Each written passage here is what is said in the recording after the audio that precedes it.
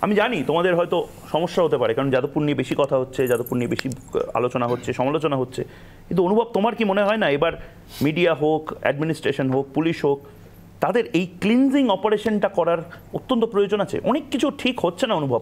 যতই বিপ্লব, যতই মুক্ত চেতনার, যতই বড় বড় স্লোগানিং থাকুক কিন্তু হচ্ছে না হয়তো কিছু। সামথিং ইজ নট ময়ূকদা প্রথমে বলে রাখি যে আমি প্রাক্তনী নই আমি এখনও যাদবপুরে পড়ছি আচ্ছা। জার্নালিজম ডিপার্টমেন্টে তো প্রথম কথা হচ্ছে যেটা আমি ইন্ট্রোতে তোমার শুনলাম যে মুক্ত চিন্তা কিংবা স্বাধীনতা নিয়ে যেভাবে বিষয়টাকে ডাইলুট করা হলো বিষয়টা আমরা ওভাবে দেখছি না। প্রথম কথা মুক্ত চিন্তা স্বাধীনতা ওটা আপনিও চান আমিও চাই। আমার মতো এখানে প্যানেলে যতজন বসছেন ওরা সবাই এই স্বাধীনত স্বাধীনতাটুকু চান। তো এর সাথে ওই কিছু যারা র্যাগিং করে, তাদের সাথে এই মুক্ত চিন্তাকে একসাথে মিশিয়ে দেবেন না। আচ্ছা আমরা এক্ষুনি আপনার একটা খবর শুনলাম, হাবড়াতে কিছু একটা ঘটনা ঘটেছে সেম র্যাগিংয়ের ইস্যু সেখানে কোন বামপন্থা কাজ করেছে র্যাগিংয়ের জন্য? কোন মার্কস, লেনিন পড়ানো হতো?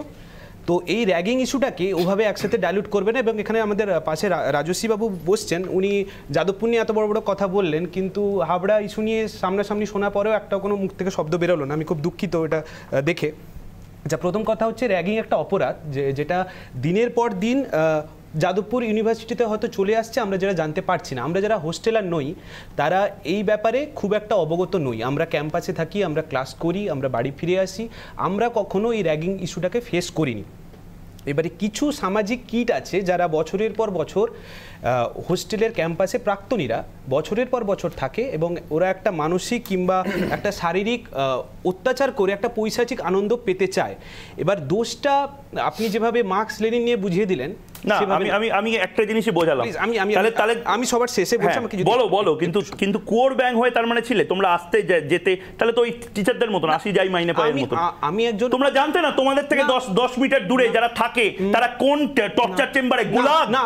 গুলাগে কখনো- থাকে। কেউ কখনো আমাদের কেউ কোনোদিন বলে- বলেনি। যদি এক্সপ্রেসই করতে পারতো আচ্ছা। তাহলে ওটা কর্তৃপক্ষকে এক্সপ্রেস করতে পারতো। ওরা কখনো ওই ভয় বলতে পারেনি। এবং আমরা এই বিষয়ে কোনোভাবেই অবগত ছিলাম না যে হোস্টেলে এই কার্যকলাপ হয়। হ্যাঁ দু একটা খবর শুনেছি যেখানে এত বড় একটা লেভেলের কিছু হতে পারে যেটা আমাদের সত্যি কোনো আইডিয়া ছিল না। এবং আমরা শুনেও এটা নিয়ে বিভৎসভাবে আতঙ্কিত যে আমাদের ক্যাম্পাসে এরকম একটা ঘটনা ঘটেছে। এবং বছরের পর বছর এখানে একটা অ্যান্টি র্যাগিং সেল আছে এক- এখানে কর্তৃপক্ষ আছে যারা কোনোভাবে একরকমভাবে নেতিয়ে পড়ে আছে যারা কোনো কাজ করে না। কর্তৃপক্ষটা কি বলছে আমি বুঝতে পারছি না। অভিজিৎ বাবুকে তো তাড়িয়েই দেওয়া হলো।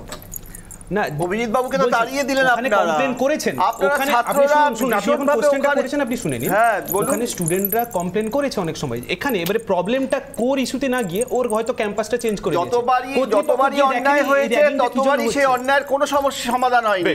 কে একবারও। একদম আমি। আমি আমি দেখতে দেখতে দেখতে দেখতে এক ঘণ্টা এক ঘণ্টা কেটে যায়। দেখতে দেখতে- এক ঘণ্টা কেটে যায়। আজকে আমাকে ব্রেক নিতেই হবে। আমাকে ব্রেক নিতেই হবে কারণ হ্যাঁ, অবশ্যই হাবড়া নিয়ে শুধু নয় আর অনুভব যে কথাটা বলল হাবড়া নিয়ে যেভাবে চিন্তিত হাওড়া নিয়ে চিন্তিত যাদবপুর নিয়েও চিন্তিত কিন্তু হাবড়াতে কেউ মুক্ত চেতনার পতাকা নিয়ে ঘুরে বেড়াচ্ছে না যে আমরাই শ্রেষ্ঠ আমরাই মুক্ত চেতনার ধারক বাহক এবং বাকিরা যারা তারা অন্য জায়গায় থাকতে পারে।